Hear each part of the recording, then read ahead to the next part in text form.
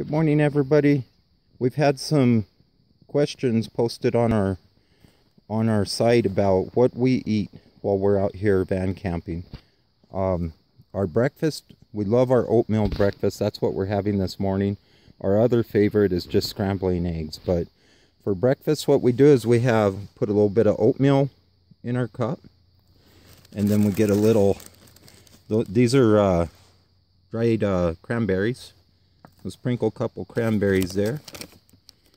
And then, this is very hard to do one-handed. My wife's gonna help me. And then we got some pecans. Those go in there. And then next is the ooh, dried blueberries. Those go in there. And this pumps up the protein and stuff and it's good for us is our hemp seeds. Mix a little hemp seed. And this is natural raw sugar and then we just added some cinnamon to it. And we just get a little pinch of that.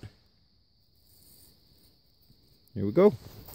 So we got oatmeal, pecans, cranberries, blueberries, hemp seed, and oatmeal and then some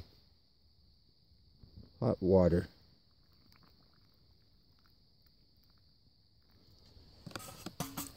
And I forgot my spoon. So we just let give it a little stir.